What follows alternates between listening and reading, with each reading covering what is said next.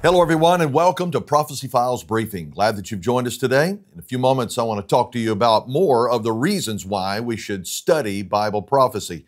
Over the past week, we've been able to give you a little bit of the information you need to know concerning why Christians don't study Bible prophecy, but I want to give you some reasons uh, in just a moment. But before I do that, I want to just remind you of an upcoming event in September. Mark the calendar for Bible Prophecy Conference right here, the Bible Prophecy Files Conference right here at Pace Assembly. We'd love to be able to have you join us. We'll be releasing the information of those who are on the schedule to be speakers uh, in the next uh, days. And so we want you to be looking for that. But mark your calendar in September.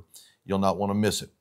Now, with all that is taking place around our world, obviously you see it from day to day. And if you uh, track with us here at Prophecy Files Briefing, you understand that every week we give you articles and information that's happening that's pointing toward the return of Jesus Christ. There is no doubt about it. You'd have to have your head in the sand or completely ignorant uh, to be able to not see what is taking place with our wars and rumors of wars all around, the moral decline that's taking place. In recent days, you've seen it. The UN now, along with the United States, has now voted for a ceasefire uh, to be proposed upon the nation of Israel, as if all of that, the enemy is all gone and now everything's okay. And in that information, you see the Palestinian Authority that literally says we want to wipe Israel off the map uh, to be able to take back over that area and call for a two state solution.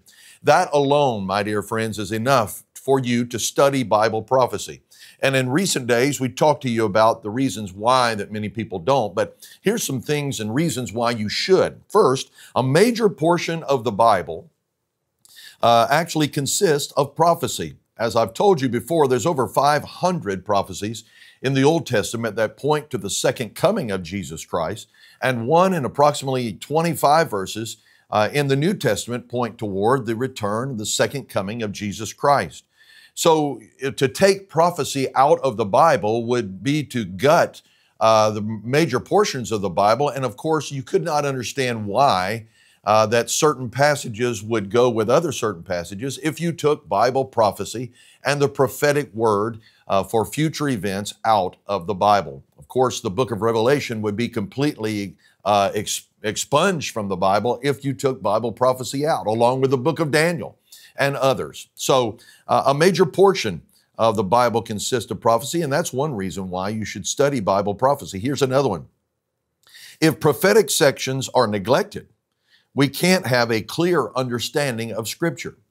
We understand the Bible tells us that the Bible interprets the Bible, a line upon line, precept upon precept. And so when you're reading the book of Revelation, for example, concerning uh, the events that are coming in the future, you get more of an understanding from the Old Testament book of Daniel.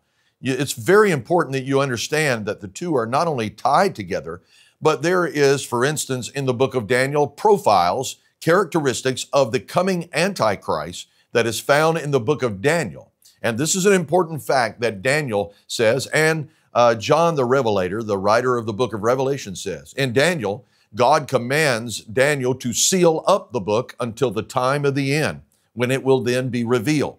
He commands John in the book of Revelation to open the book uh, to be able to reveal what is taking place. That's the very title of the book, the Revelation. Why is that so important? Because we're seeing the things that Daniel spoke about that are coming to pass uh, right now and will into our future that John gives even much more uh, insight to. Uh, and the two of these books really go hand in hand. So that's another reason that we should not neglect the study of Bible prophecy. Here's another one reasons why we should study Bible prophecy. Bible prophecy reveals Jesus Christ. According to the book of Luke 24 and 25, it is Jesus who is to be revealed in Bible prophecy. As we told you, Revelation 19:10, that the testimony of uh, Jesus is the spirit of prophecy. And then it says in the very first chapter of the book of Revelation, this is the revelation of Jesus Christ. So this is not just uh, reading the newspaper or having some kind of uh, insight into things that are coming. All of these things point toward the one true God who is none other than Jesus Christ. This is important for you to get a hold of because the Bible is not a Bible that points toward any other religion or person or personality. It all points toward Jesus Christ. And all of that, my friends, is being revealed line upon line when we study Bible prophecy. Here's one more before we leave you today. Certain prophecies in the Bible have then already been fulfilled in the first coming of Jesus Christ. Now, why is that so important? Well, if God, and He is 100% accurate, and this is very important for all of you that are followers of Nostradamus, and you want to say that his prophecies are somehow aligned to foretell the future, you need to understand that based upon the understanding of history and his life, he took these prophecies from the Bible. And not to mention the fact when he mixes it together with his own words, they are no longer 100% accurate. That's why it's so important that you study the Bible, because the Bible is 100% accurate in all things, and especially, of course, in Bible prophecy. How can you know that, Pastor? Because the uh, first coming prophecies of Jesus Christ are 100% accurate in total detail. For instance, Isaiah 40 and 3 tells us that John would be the forerunner of Jesus Christ. Isaiah 6 or 7 and 14 tells us that he would be born of a virgin. How would you like that calculated into the algorithms and the AIs of today? There's no way they could come out with that. Only Jesus Christ fulfilled that prophecy. Micah chapter 5 verse 2 that he would return uh, or that he would come and be born uh, in Bethlehem. Of all the places that you could have selected, why not Jerusalem? Why not Babylon? Why not some other location? Because the prophecy from the book of Micah tells us that he would be born in Bethlehem. Furthermore, right there in that same chapter of Micah, he tells us prophetically that he would be born, Jesus would be born in his first coming in the town of Bethlehem in the Tower of the Flock. Well, what is that? That's not a stable as we would know it today.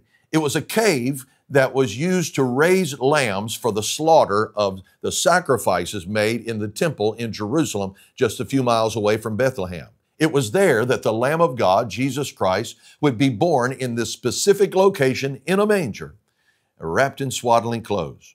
Here's a few more Psalm 72, verses 10 and 15, that wise men would come and visit him. Accurate, 100%. And it goes on and on from Isaiah chapter 53 to Zechariah 11 and 12 and 13, Psalm 22, Isaiah 53, Psalm 16, and on and on the list could go to tell you that Bible prophecy is 100% accurate because he fulfilled everything in the first coming. You can trust God for his second coming. We're going to take up more of these uh, subjects concerning the reasons why we should study Bible prophecy in the next few Prophecy Files broadcasts. So we want you to make sure you're right here for this briefing. Till the next time we get together around God's Word, remember, Jesus Christ is coming soon.